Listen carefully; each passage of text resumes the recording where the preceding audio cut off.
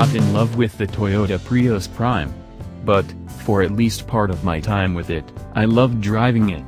The Prius Prime offers about 25 miles of all-electric driving if you pop it into EV mode and leave it there.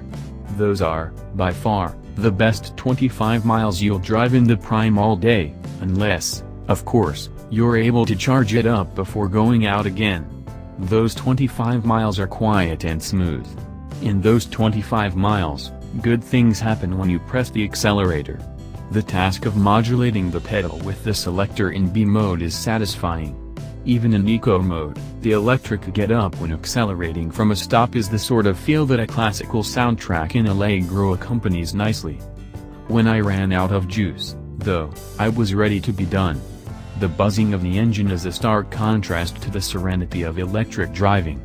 It isn't slower, but the Prius Prime definitely feels slower as its struggling to gain speed becomes audible.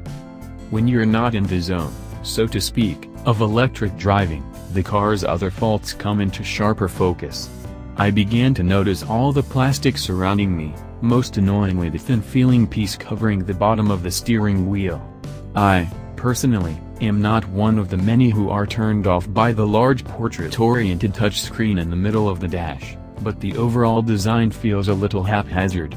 The non-traditional use of positive and negative space in the front of the cabin somehow feels brilliant in the BMW i3, but awkward here in the Prius Prime. I won't even start in on the Prime's exterior.